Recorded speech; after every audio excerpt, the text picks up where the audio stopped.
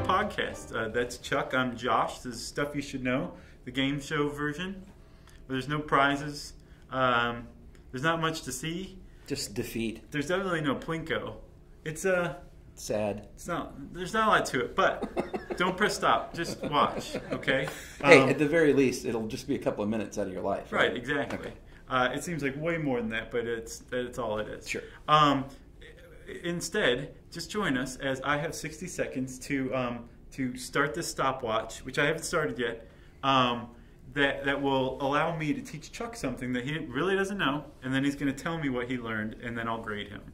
Even though really I should be graded, I think maybe both of us should. Okay. We'll talk about adding that later on. Sure. Okay, so uh, Chuck, Yes. post production stopwatch.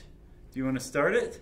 Click, click. Okay, so Chuck. Yes. Um, I'm going to tell you about photic sneeze. Have you ever walked out in the bright sunlight and just started sneezing?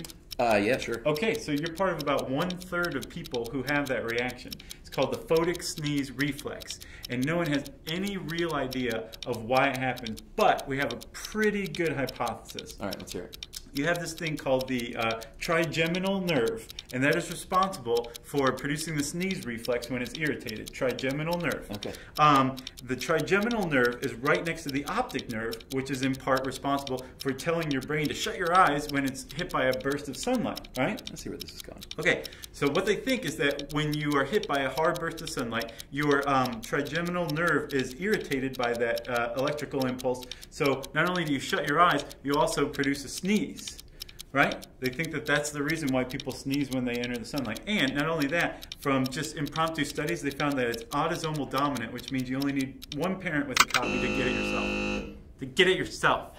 You, it was under the buzzer, overlaid under the buzzer. So it underlaid. counts. It's what counts. It counts. That's what I'm Let's see what you got. All right, photic uh, sneezing, Josh, is when uh, it's a I don't know about a phenomenon, but it happens. Sure. When people go out in the sun, sometimes in the bright light, they might sneeze. Apparently, uh, it's happened to me, and that means I represent about 33% of the population, Give or take. give or take. That's definitely correct. And uh, what's going on here? They have a hypothesis that there is a, uh, a, a thingy near the optic nerve called the trigeminal nerve, it's gonna cost you. and uh, and that triggers your sneeze reaction. So they think that when you go out in the bright sun, your optic nerve uh, reacts in such a way that it also triggers this neighbor nerve, Mhm. and that's why you sneeze.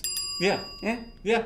Okay. What about genes? I think your parents, only one of your parents, has to have this gene in order for you to to uh, adopt this, inherit this. Which means it's It means it's uh, pretty neat. It's 50 50. not too bad. So uh, trigeminal nerve Uh-huh. is the nerve that produces the sneeze reflex. I even said that in my head like five times. and it's autosomal dominant, which means you Okay. only need one parent having a copy will produce the thing in 50% of his or her offspring. Gotcha. So that probably is why you sneeze when you go out in the sun, which is a pretty big deal. We just explained that in pretty short order. Yeah. And Chuck did pretty good. Yeah. Uh, I'm going to give him a B. Solid B. Great. You did good. You understood the concept. You knew what was going on.